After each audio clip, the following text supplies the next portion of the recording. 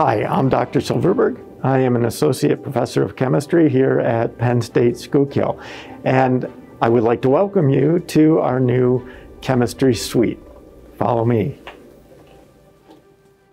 We have the new organic chemistry lab, and we have six student hoods, and a research hood, and a balance hood, and a hood that is specifically for uh, hazardous waste. We have some brand new analytical equipment that I'm very excited to have. This is an infrared spectrometer and a new NMR spectrometer. From the organic lab, we go into the prep area where we have a hood that, as you'll see, passes through to the general chemistry lab. And here is the new stockroom area. And now let's go into the general chemistry lab.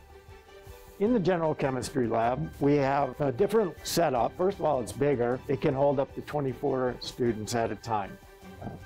In a general chemistry lab, you don't need as many hoods. So we have over every lab station is these type of overhead ventilation system, which is known as a snorkel.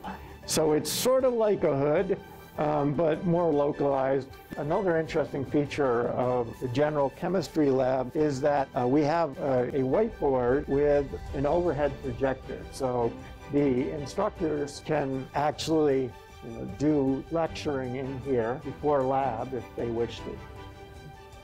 The new chemistry labs here at Penn State Schuylkill will give our students the opportunity uh, to work in modern facilities and to use modern equipment and be able to do research as well as working within class laboratories. Uh, it should be overall a great experience for our students.